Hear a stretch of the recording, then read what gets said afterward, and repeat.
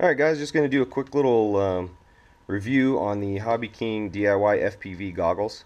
Um, also known as wearing a box on your face and looking really goofy at the field. Um, but hey, it works. How do I know it works? Because for the last year, I've been using these. Um, this is my garage built model. It's a three and a half inch low resolution monitor, foam board box. Kind of folded and built in uh, experimental airline style attached to a set of old motocross goggles that I had. Uh, there's a Fresnel lens inside. They work great. I love them. I've been using them for a year and considering the cost to build these for me was about 20 bucks. Um, it's a heck of a deal. I've tried Fat Shark Predators V2s. I've tried uh, the Attitudes. I prefer these. Um, the OSD is just cleaner. Uh, the screen is bigger. Um, it just works a lot better for me. But anyway, um, I saw these come out. I was lucky. Got in on the first batch. Um, they shipped really quick. Uh, my overall impression is that uh, the package is really clean and nice. Um, it's a small form factor. Um, maybe not quite as goofy looking as the garage built ones because we don't have all the duct tape and you know they just look more like a production model. So you might not get uh, razzed quite as much from your buddies at the field. You still will though because you're wearing a box on your face. But anyway um, I like the form factor. It's small. Um, I like the monitor that it comes with. I'll, I'll go into uh, detail a little bit more on that in a second here. Um, I haven't actually glued this one together because I haven't figured out exactly how I'm going to set it up but um, I my plan for this one was actually to use a GoPro head strap, modify this so that you would get the top strap over your head as well to help support that weight. Um, but actually, it doesn't weigh that much at all. Um, let's get the scale here and see how much this thing actually weighs. Let's see here. this is of course with the heavy plugs. Um, a lot of guys are going to use them with these plugs. Some guys that are concerned about weight or like to tinker with stuff, they're going to change these out to just like a standard servo plug or something that's a lighter weight modular plug. That's what I did on my home built ones and it works really well. These plugs can get kind of heavy, especially when it's hanging off the back of the monitor, you know, leveraging down on your face like this. So um, let's see how much these guys weigh with the connector and the screen in there. These are all set to go and we're looking at 173 grams. So that's not too bad. Uh, let's compare that to my DIY goggles that I've been using for the last year. Let's see, ski goggles and all. These come in at 282 grams. So about 100 grams lighter, a little better than 100 grams lighter for the Hobby King model. Um, so that's good. Lightweight is always good, especially when you have something hanging off the front of your face. Um, you don't get fatigued as much with a lighter weight. Um, let's go into talking about the monitor. And we'll get to that here. Alright, um, goggles are taken apart. Here's the monitor that comes with it. Um, thing's super lightweight. It's really thin um, it does come with your standard plugs. Now one thing that I had asked about on the, uh, the Hobby King on the comments for the product page for this is they said that the that you have an audio input. Why you would have an audio input to a monitor that doesn't have any speakers, I don't know. And I suspected that this, just like every other cheap um, backup monitor, is just a second video input, which actually after I plugged it in, it is. It's a number two video. Um, I believe the way they work is number one has priority.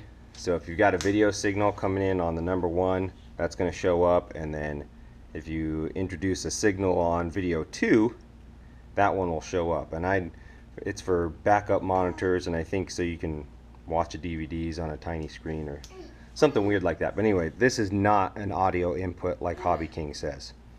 Um, other than that, though, the screen is fantastic. Um, they call it a low resolution screen, but I'm telling you, um, I also have I have one of these. Um, this is a screen that is a supposed to be. see, I don't know if you can see that or not, but that is 800 by 480 in a 5-inch screen. Um, I had this one for a while. I was going to build it into a second set of goggles. Um, what we can do here is I'll compare the picture and I'm telling you this low res screen from Hobby King is every bit as good as this one that claims to be 800 by 480. Okay, um, got the 5 inch screen on top and the Hobby King 4.3 inch screen on the bottom.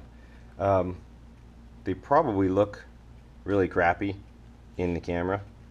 Um, I'm not sure how this is going to come across on YouTube, probably really bad.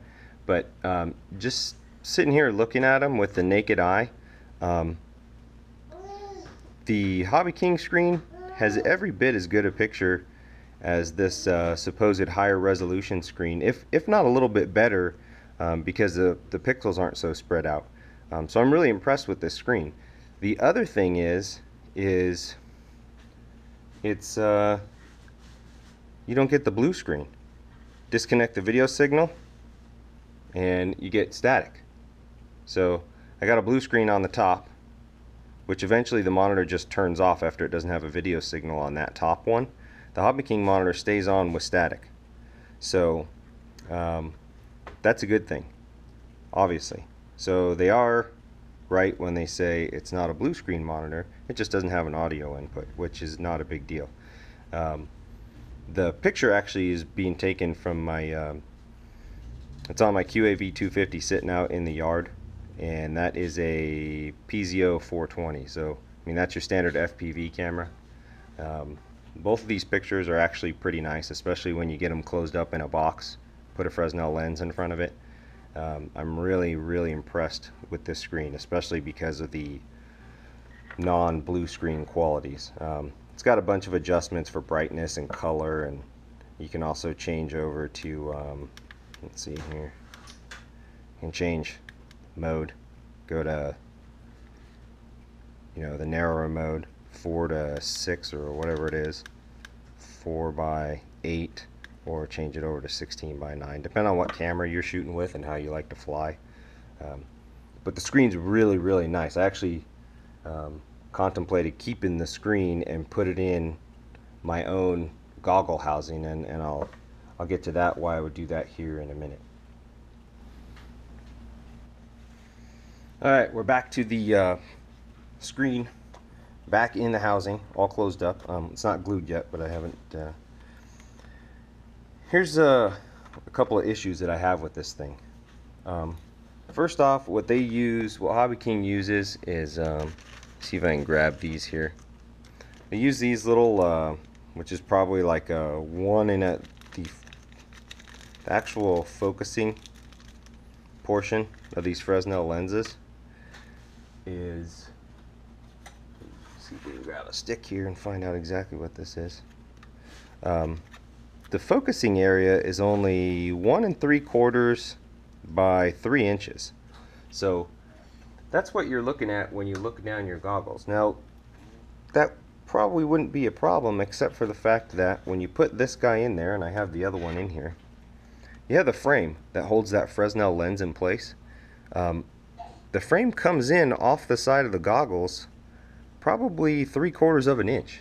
So it really narrows down your field of view. And what I find is when I put these up to my face, um, when I have both eyes open, the edges are blurry. And the reason that is, is because, and you can see this when you close one eye at a time, you're looking at the frame on the side. This is actually where the frame comes into is narrower than my eyes are.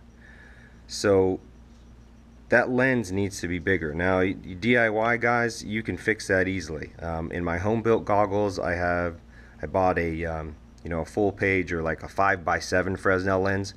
You cut out the size that you need, which I would suggest this whole entire opening, um, so you don't get any of this frame blocking your view, which is a problem with these Hobby King goggles. Um, just make sure that you cut out from the center. Otherwise, if you cut out from one corner of the Fresnel lens, it's going to skew um, your view of the screen. So the frame is too big and or the lens is too small for in here. Here's the other problem. The frame, and I don't know if you can see this, the frame doesn't touch the inside of the box. So what you get is you can probably see that glare coming in on the top of the box. This frame needs to be sealed up tight against the top of the box so you don't get this glare from the screen coming past the frame that holds the lens. Um, they probably did that for clearance so you can obviously adjust that Fresnel lens which is a great feature but the tolerances need to be a little bit tighter. Maybe put uh, you know a little some sort of a sweeper or some soft gasket material around the edge to block out that light because what you get in here is when you put these things up to your face get that glare that shines in from the exposed areas around the frame that holds the lens. So that needs to be addressed. Um, and here is my final issue with these. I can't wear these things. From front to back, the thing, whoops, from front to back, the thing is really short. Um, which is good if you're worried about looking like a geek but let's see here. Let's give you a measurement here. From front to back, you're looking at five and a half inches, which if you look where the screen actually is, um, from the screen to the edge of the goggles is only four and three quarters inches. That's too close to my face. Um, when I put my face in here, I can't focus. I need to pull this box like probably two inches away from my face to actually get to focus. And I've tried all three lenses. I've tried moving the, the lens back and forth, but the screen is just, it's just a bit too close to my eyes to actually get a good focus. Now that might be different with, with different users, um, but I don't wear glasses, I don't wear contacts, I have 20/20 uh, vision, at least last time I checked, um, and the screen's just too close. There, there's, a, there's a point to where it gets too close and you just can't focus. That's on my home built version, I actually did some experimenting with how close I could get this screen to my face and still be able to get a good focus with different types of Fresnel lenses. Um, what I ended up with on this one is the whole box to the front of the goggles is about six inches. Um, where the actual screen is, which is in a little bit, you're probably talking about five and a half inches. So here you have four and three quarter inches and here you have five and a half inches. If this box on the Hobby King goggles was about an inch to an inch and a half longer, I think it would be perfect. Um, but as it sets right now, I can't use these things. I, tried different Fresnel lenses. Um, it's just, that screen is just too close to my face. Um, thought about trying to block this off a little bit to space it out for my face a little bit. That's not going to work either. Um, so